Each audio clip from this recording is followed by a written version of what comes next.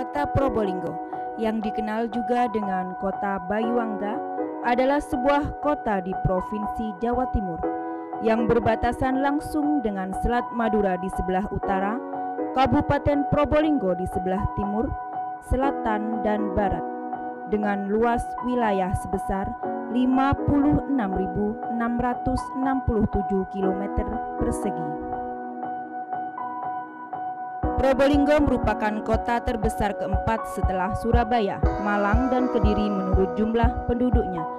Jumlah penduduk kota Probolinggo sebanyak 221.918 jiwa dengan mayoritas penduduknya beragama Islam.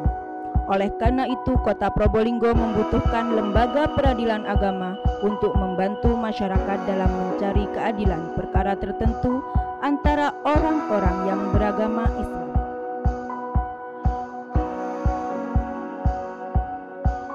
Pengadilan Agama Probolinggo merupakan pengadilan agama kelas 1B yang mempunyai tugas pokok menerima, memeriksa, memutus, dan menyelesaikan perkara-perkara di tingkat pertama antara orang-orang yang beragama Islam di bidang perkawinan, waris, wasiat, hibah, wakaf, zakat, infak, sodakoh, dan ekonomi syariah.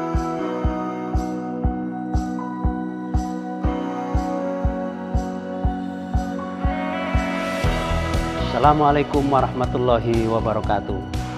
Perkenankan saya Dr. Andes Muhammad Edi Afan, Magister Hukum selaku Ketua Pengadilan Agama Probolinggo kelas 1B hendak menyampaikan profil gedung Pengadilan Agama Probolinggo.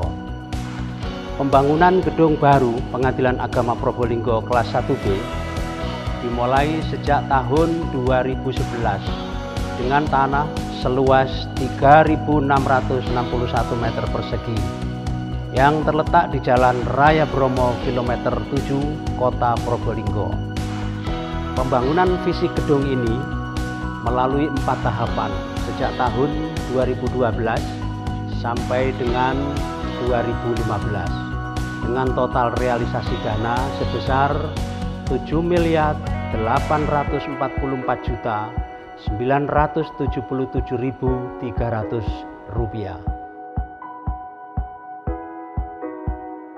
Gedung ini berlantai dua dengan luas bangunan 1440 meter persegi yang telah sesuai dengan prototip gedung pengadilan kelas 1B yang telah ditetapkan oleh Mahkamah Agung Republik Indonesia.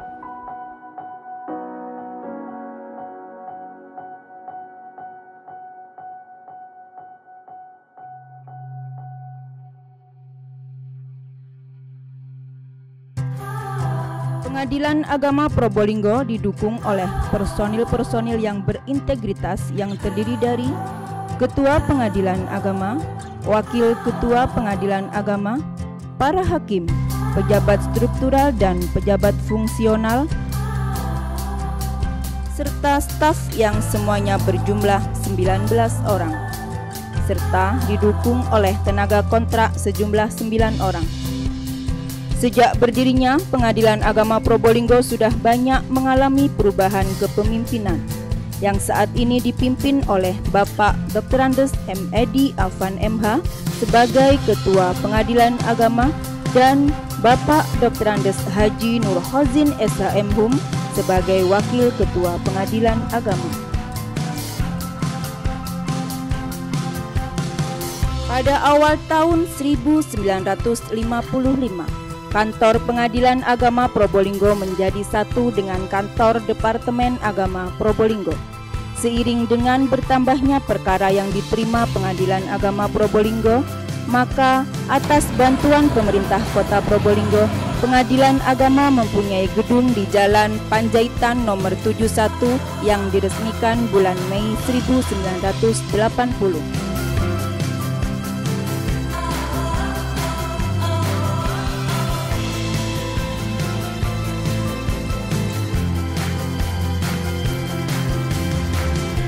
Dibangun sejak tahun 2012 sampai dengan tahun 2015 yang dilaksanakan selama empat tahap.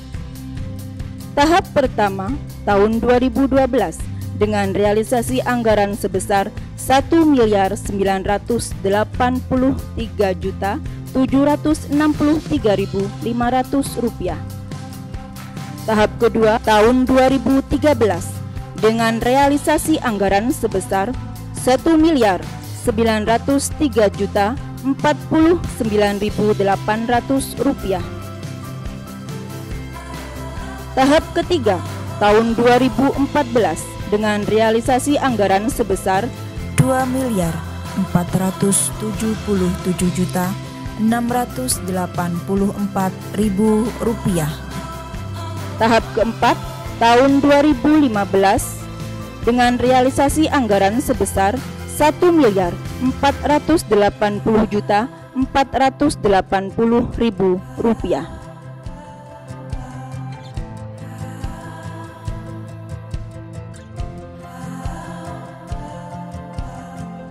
sarana dan prasarana yang tersedia saat ini, ruang ketua, ruang wakil ketua, ruang hakim,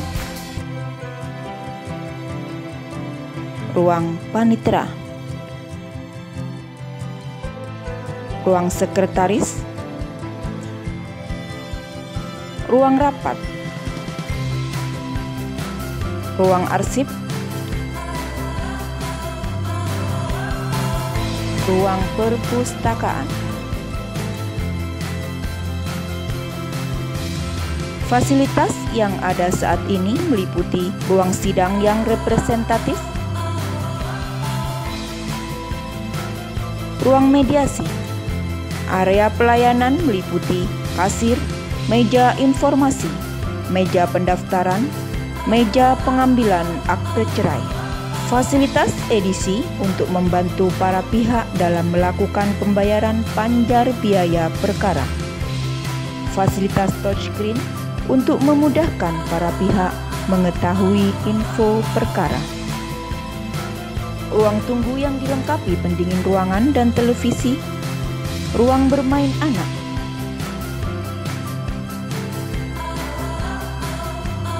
ruang lobi yang nyaman, ruang resepsionis dan meja pengaduan, fasilitas finger scan untuk absensi pegawai, ruang laktasi, ruang server, ruang sholat,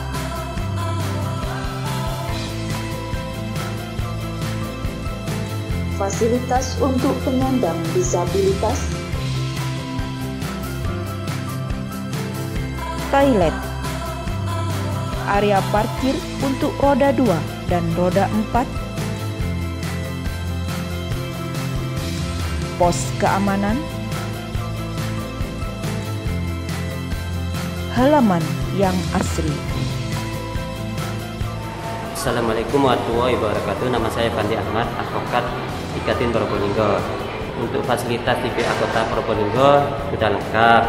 E, ada minum, ada koran untuk dibaca, terus ada taman untuk anak-anak teman. Untuk pelayanannya sudah cukup memuaskan dan tugasnya ramah-ramah, tidak marah-marah dan cepat melayani. Untuk masukan sarannya Semoga PA Kota Probolinggo lebih baik. Assalamualaikum warahmatullahi wabarakatuh dan selamat siang untuk pengguna jalan apa pengguna layanan di PA. Alhamdulillah saya sebagai pengguna pelayanannya cukup memuaskan dan waktu yang diberikan sudah cukup ya. Jadi mulai awal saya menggunakan itu dari daftar setelah surat panggilan cukup waktu dua minggu kemudian untuk sidangnya dengan jeda satu minggu Pengadilan Agama Probolinggo. Bekerja dengan hati, bekerja dengan pilihan, bekerja dengan